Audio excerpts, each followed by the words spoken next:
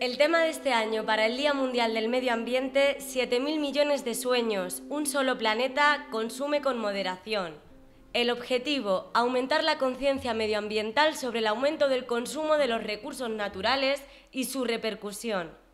Se estima que para el 2050, si continúan las actuales pautas de consumo y producción, se necesitarán tres planetas para mantener nuestro modo de vida.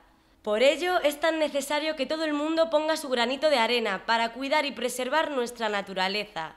Las duchas en vez de baños, eh, utilizar siempre la luz natural siempre que se pueda. Eh, utilizo bombillas LED en casa, que son con mucho menos consumo. Eh, utilizo bolsas reutilizables cuando voy al supermercado.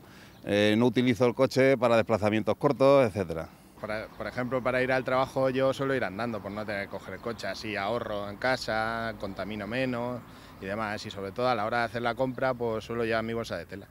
Y en mi casa recogimos todos los um, cartones y la botella, lo ponemos cada una en su lugar. Pero la calefacción no la solemos poner muy alta y el aire acondicionado tampoco, no o sea, 25, eh, 26 no, ponemos más frío porque tampoco hace falta más. La separación de las basuras, eh, tengo tres tipos de bolsas en casa y siempre reciclamos. Pequeñas acciones como reutilizar materiales y objetos, ir andando o en bicicleta al trabajo o reciclar plásticos, vidrio o papel están a nuestro alcance para ayudar a la conservación y protección del medio ambiente.